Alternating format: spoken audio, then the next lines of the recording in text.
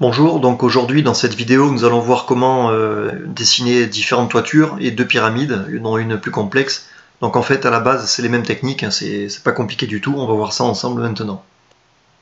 Alors on commence par tout supprimer, CTRL A, on supprime.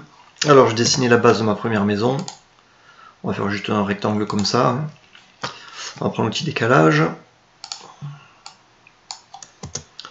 Et on pousse. Alors, on désélectionne d'abord la face, on prend pouce et tirer, parce que sinon ça va pousser le centre et pas les contours. Voilà. Je vais dessiner la deuxième maison à côté. Donc à peu près le même genre de maison, alors un peu plus long comme ça. on la met dans ce sens-là. Voilà. On efface le trait au milieu. Même principe, décalage. Ici, on prend pouce et tirer et on pousse jusqu'à la même hauteur. Voilà. Donc on verra après les deux pyramides, pour l'instant on va s'attarder à ces deux exemples là. Alors dans un premier temps, euh, il faut qu'on crée absolument un groupe sur les deux maisons. Donc triple clic, hein, créer un groupe. Pourquoi? Parce que je vais dessiner un rectangle par-dessus maintenant comme ça. Et si je fais pas de groupe, ben, ce rectangle va être collé à la maison et on ne pourra pas faire l'exercice que je souhaite. Donc là je prends l'outil ligne et je vais tracer cette fois un trait au milieu comme ça sur le rectangle que j'ai dessiné. Je sélectionne l'arête qui est ici. Donc euh, ce qu'il faut euh, penser à faire justement c'est sélectionner l'arête d'abord hein, et ensuite on prend l'outil déplacer.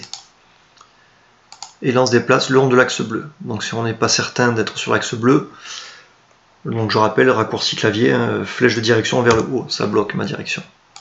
Voilà, là j'ai fait ma première pente de toit. Maintenant, après, donc, avec l'outil ligne, il ne reste plus qu'à boucher donc, les deux extrémités. Hein, c'est fait. Donc je reviens en arrière. Et cette fois, donc j'efface ce trait là, on va faire un 4 pentes. Donc là, il va falloir que je trace une croix avec l'outil ligne. Voilà, comme ça. Même principe, sauf que cette fois, on ne doit pas sélectionner. On va prendre l'outil déplacé, on se met sur le centre ici. Alors attention, vous avez vu, il ne faut pas que ce soit le bloc bleu qui soit sélectionné, sinon on va, on va déplacer notre, nos murs là. Il faut qu'il de sélectionné, donc on se met vraiment sur l'extrémité, pareil que tout à l'heure, on bloque sur l'axe bleu et on monte. Donc là si on voit que la surface est grise, c'est parce que quand j'ai dessiné, donc j'annule, je reviens en arrière. Oui mes faces elles sont à l'envers. Ici, elle est grise, donc je fais un triple clic pour tout sélectionner, voilà, clic droit, inverser les faces. Cette fois j'ai bien ma face blanche, donc je désélectionne tout, je reprends l'outil déplacé, je remets bien sur l'extrémité ici, je bloque le long de l'axe bleu, et j'ai obtenu donc mon toit à quatre pentes.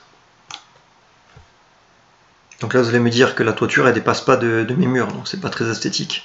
Donc quand c'est une forme simple comme ça, euh, rectangulaire, euh, je vous montre deux techniques différentes. Quand c'est celle-ci, il n'y en a qu'une seule euh, en particulier qui fonctionne mieux que l'autre. Alors, je fais un triple clic, sélectionner mon toit, je prends l'outil donc échelle, c'est la touche S du clavier, donc c'est cet outil-là. On se met sur le milieu, on fait CTRL majuscule, on reste appuyé sur les deux et on décale.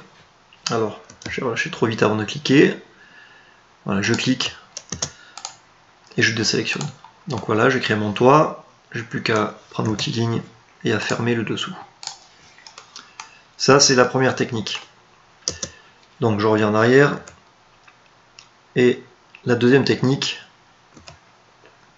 c'est qu'avant de tracer la croix, ici, donc je vais l'effacer. Voilà. Donc n'oublie pas d'inverser à nouveau ma face, comme je suis revenu en arrière. Hein. Et là, je vais faire un, décalage à l'extérieur qui correspond au débordement que je souhaite de mon toit. Donc c'est plus pratique parce que là j'ai plus de possibilités. Hein. Je peux même y donner une valeur en bas à droite, à hein, la distance là.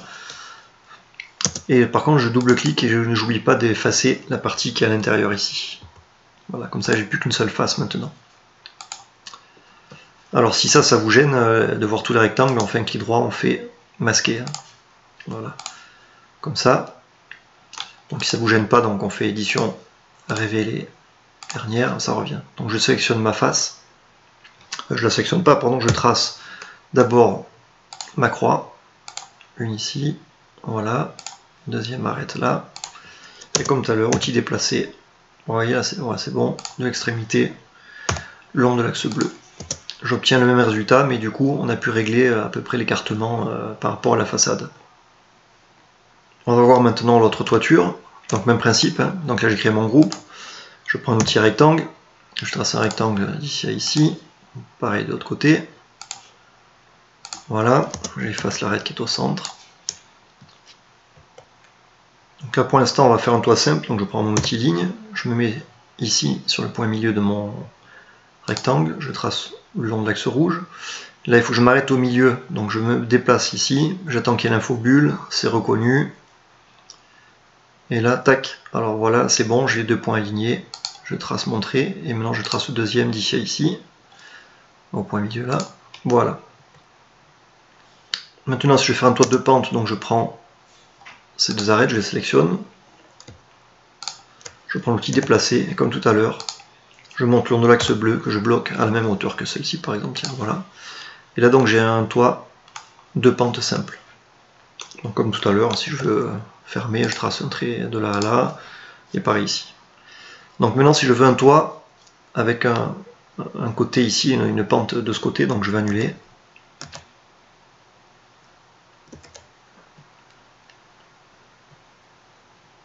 Je prends mon outil ligne et je vais tracer donc la pente que je souhaite obtenir de là à ici. Pareil de ce côté.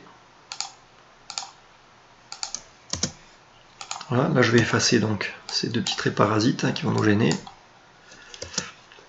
Et là, si je vais sélectionner mes arêtes, alors je sélectionne pas ces deux-là, je vais vous montrer, on va le faire. Parce que si on sélectionne celle-là en même temps, c'est donc ces six arêtes qui vont se lever. Vous allez voir ce que ça donne, le long de l'axe bleu. Voilà. Donc les arêtes ont été soulevées elles aussi. Donc en fait celle-là et celle-là n'étaient pas sélectionnées, du coup elles sont restées fixées à ma maison. Donc ça peut être sympa si on fait un vent un peu spécial, mais c'est pas ce qu'on souhaite. Donc là je fais CTRL Z. Donc je sélectionne uniquement cette arête. Je reste enfoncé sur majuscule, je sélectionne celle-là. Je vais lever les deux, et du coup les deux autres vont se déformer le long de l'axe bleu, même hauteur que celle-ci. Et voilà, cette fois là c'est bon. Donc même problème que tout à l'heure, là, notre toit il dépasse pas ici de notre façade. Donc si on fait un triple clic, que je prends l'outil échelle et que je fais ça, mais cette fois le problème c'est que ça va pas marcher quoi. Parce que la forme est, pas rectangulaire, donc elle va déborder plus d'un côté que de l'autre. Ici je suis à l'intérieur de la façade, des murs, et de l'autre côté je déborde beaucoup. Donc ça c'est pas la bonne solution. Donc du coup il faut que je revienne en arrière. CTRL Z comme d'habitude. Il faut en fait que je fasse donc le décalage avant de dessiner ma toiture. Donc là, je vais effacer, ça ira plus vite. Comme ça, voilà. On va bien se rappeler qu'il faut faire donc décalage. Donc je prends l'outil décalage. Ici, je le fais à l'extérieur. Comme ça, j'ai un contour régulier tout autour. Et comme d'habitude, là, j'ai la distance, j'avais 358. Bon, ça a disparu parce que j'ai bougé ma souris. On peut régler la distance qu'on souhaite. Donc pareil, double clic. On n'oublie pas de supprimer donc, euh, le contour intérieur. Voilà. Donc là, cette fois, quand je sélectionne, j'ai ma face entière. Et là, je vais tracer à nouveau donc mon arête de ma toiture, ici. Voilà, je me suis aligné. Voilà, je trace le deuxième trait. Et je fais donc, là je vais plus vite, hein, j'explique plus parce que c'est ce qu'on a déjà vu tout à l'heure. Hein. Voilà. N'oublie pas d'effacer. Hop là, j'ai effacé mon groupe, on annule. On efface bien les deux arêtes. Ah. Voilà. On sélectionne nos deux arêtes, outil déplacé. Dans l'axe bleu, même hauteur que la toiture d'à côté. Et voilà, la maison est terminée. Donc vous avez compris la technique. Donc euh, ici maintenant la pyramide simple, ben, je vais vous la laisser dessiner vous-même. Entraînez-vous, quand vous avez réussi à la faire, vous continuez la vidéo si vous souhaitez pour voir la deuxième pyramide qui est un peu plus complexe.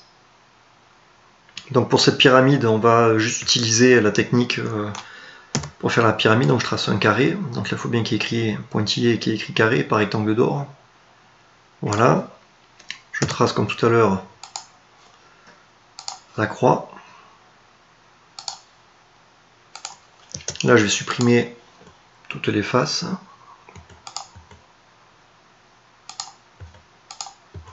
Je peux aussi déplacer. Et là, je monte le long de l'axe bleu, toujours. Voilà, à peu près comme ça, ça devrait aller.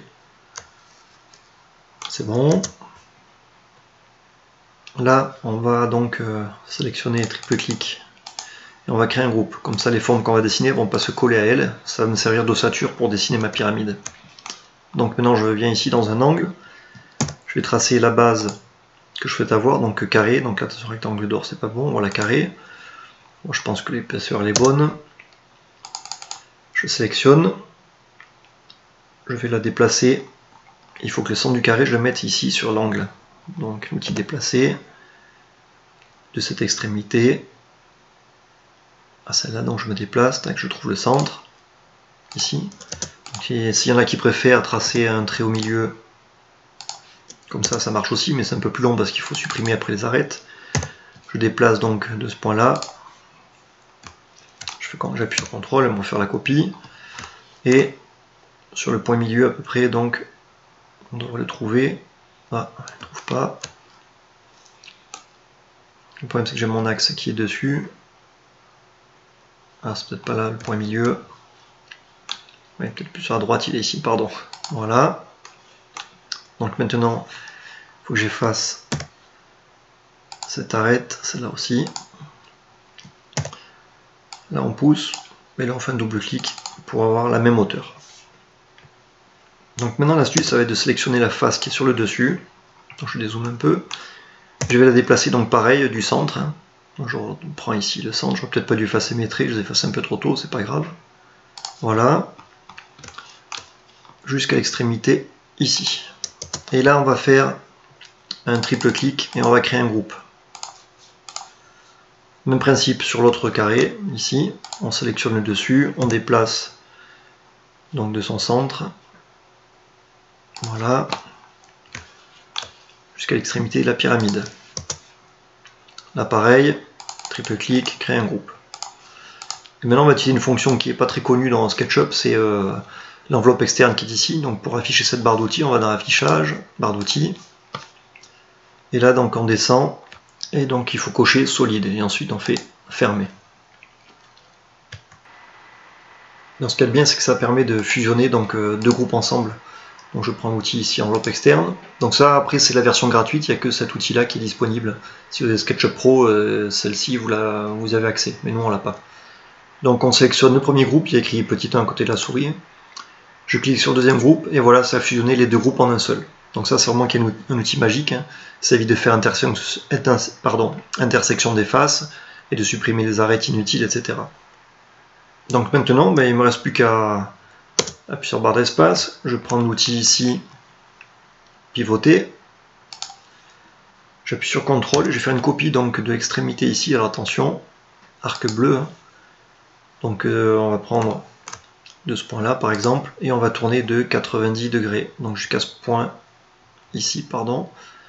Donc de toute façon l'angle on s'en fiche hein. il y écrit 51,3 en bas d'écran on tape 90 on valide par entrée. Voilà donc j'ai fait ma copie de 90 degrés. Et je fais fois étoile donc 3 et ça m'a copié donc 3 fois au total ma forme. Maintenant je prends l'outil ici comme tout à l'heure hein, enveloppe externe. Je prends mon premier groupe, je clique sur deuxième, voilà ça m'a fusionné et ainsi de suite. Et sur le dernier groupe ici. Donc ça c'est un outil qui est assez magique, hein, euh, qui est pas mal à utiliser, mais uniquement pour fusionner euh, ici pour notre exemple. quoi.